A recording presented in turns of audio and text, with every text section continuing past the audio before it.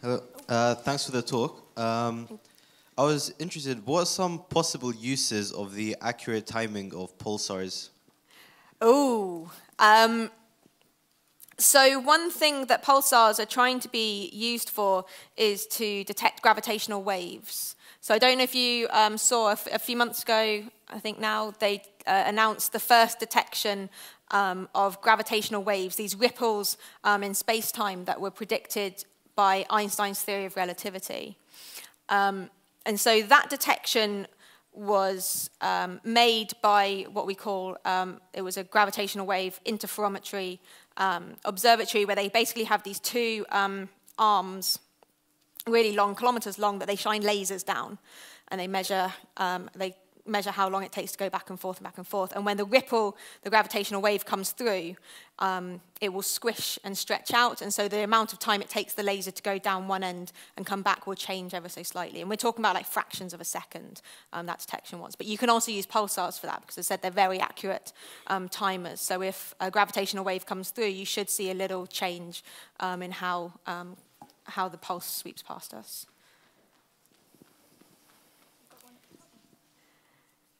Um, why do we um, have planets? Why don't we just float in space?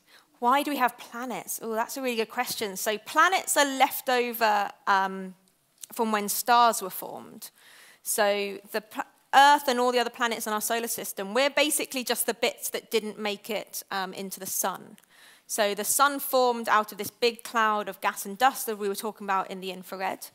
Um, and gravity pulled it all together and pulled it together enough that um, it got hot enough and dense enough for nuclear fusion to start and it started shining. Um, but the bits um, that were left over from the star forming, um, again, they started clumping together and that's how we got planets um, around it. So we're just really the bits that the sun didn't want. Um, can neutrinos be used to map objects that are even further away or any other objects? yes, so we, um, we see neutrinos from um, supernova explosions. Uh, so we saw, we detected neutrinos from a supernova that went off in 1987. Neutrinos are ridiculously hard um, to detect. There's something like, um, I think it's something like a billion going through your fingertip um, every second they really they don't really interact with anything, so it's really hard to find them. The way that um, they were detected and the way that that image um, was made is that we have these huge um, underwater chambers, um, yeah, un underground water. Sorry, underground chambers of water, um, and as the neutrinos go through, they can they sometimes can create uh, what's called Cherenkov um, radiation, which is it sort of bunches it it, it's like a sonic boom, but for light um, but it's really, really hard to do. So I don't think, while we detect neutrinos from supernova explosions and stuff, we can't really use them to create images or anything like that. We don't get that much detail. So I think we've got two. We had a change of mind back again. So two up in the gallery, cool. and then after that we've got one um, over in the middle as well. Okay. Do you have anything to tell us about hydrogen alpha?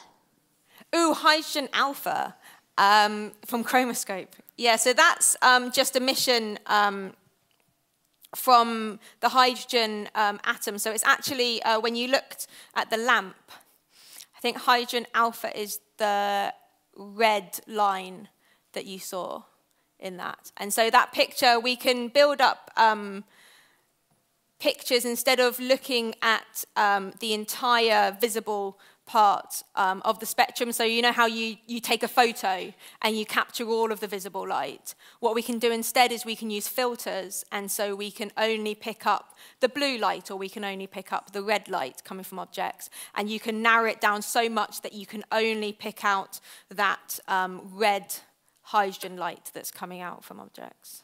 So that's where that hydrogen alpha was. No problem. Is there another question up there? There's another one. Yeah. Uh, was it um, yeah, this one here. Has there ever Ooh, been a picture? That's all right, I can see you now. Block out the lights. Has there ever been a picture of a black hole in gamma ray? Has there ever been a picture of a black hole in gamma ray? So we don't get pictures of black holes themselves because they're black holes. So, by their very nature, the definition of a black hole is that it's something that nothing can escape from.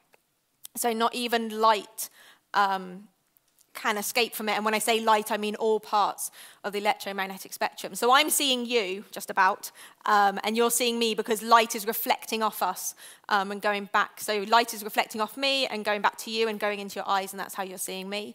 In the case of the sun, um, the sun and the stars shine because they're giving off light themselves. But you couldn't reflect light off a black hole because the light wouldn't be, it would be get sucked in by the black hole and wouldn't um, come out again.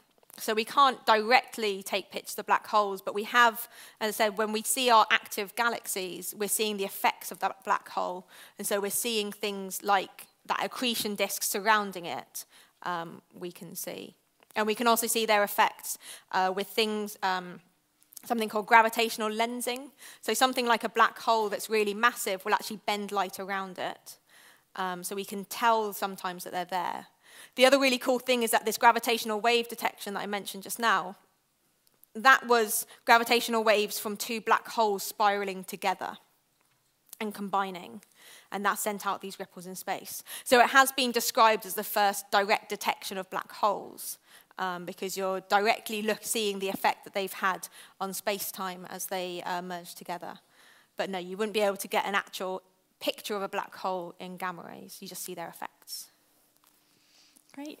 I think we've got three more questions to go. So we've got one here in the green top, one behind on the back row, and then one here in the stripy top. How many galaxies are there in the Milky Way? Well, no, so I mean black hole. Black holes. How many black holes are there in the Milky Way? Um, I don't know the answer to that. Um, again, um, because we can't see them directly, um, it's very hard to detect them. So um, I imagine you could work out based on the number of stars in our galaxy and how many of them would have gone um, supernova and ended up as a black hole, you could get an idea of how many stellar mass black holes there are in the Milky Way. So those are the black holes that you get at the end of a huge star's life. And then there's one supermassive black hole in the center of our galaxy. So there's just galaxies will have one big massive black hole. I think our, our one's maybe about a million times the mass of the sun. It's on the sort of puny side of things. And we see that because we see there's an area of um, space in the very center of the galaxy that stars avoid, and they kind of get whipped around it. Um, so you can see there's something that must be very massive in the center that's got gravity, but we don't see anything there. And so we figure out that that's our black hole in the middle. Um, yeah. How many, how many um, gamma ray, gamma, gamma rays telescopes have been launched? Ooh, that's a very good question. So there's the Fermi telescope, and then there was one before that, which was the one that detected um, the sort of 30, 50 blazars I talked about. I'm not sure if there was one before that. We've only had a few.